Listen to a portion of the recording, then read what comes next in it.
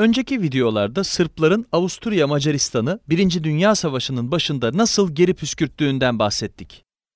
Ama sonunda pes etmek zorunda kaldılar. Aslında Bulgarlar, Avusturya Macaristanlılar ve Almanlardan oluşan birleşmiş güce karşı koyamadılar.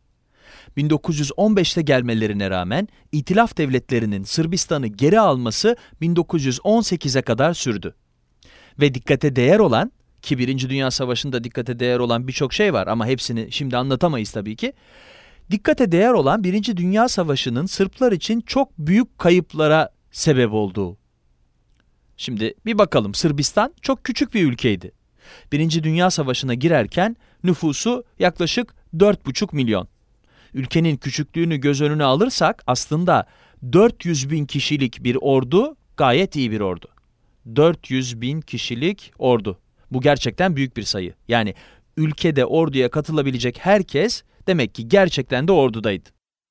Sırp mücadelesi boyunca ve Makedonya cephesinde Sırp ordusu büyük bir ölçüde yok edilmişti.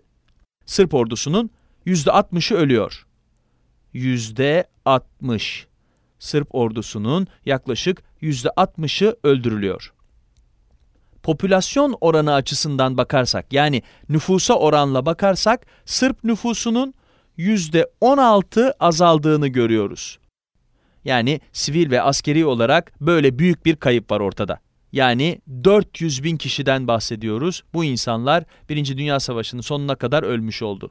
Başka birçok ülkede 1. Dünya Savaşı nedeniyle çok hasar gördü. Öne çıkan bir sürü ülke var. Fransa, Rus İmparatorluğu, bir sürü ülke. Ama Sırbistan'dan daha çok zarar gören var mıdır tartışılır. Çünkü Sırbistan ordusundaki askerlerin tam %60'ı öldü.